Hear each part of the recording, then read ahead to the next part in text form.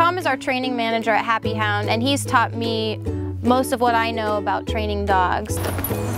Claire, Luke, come. Come, come, come. Lulu. Sit, Claire. Sit. Good girls, good job.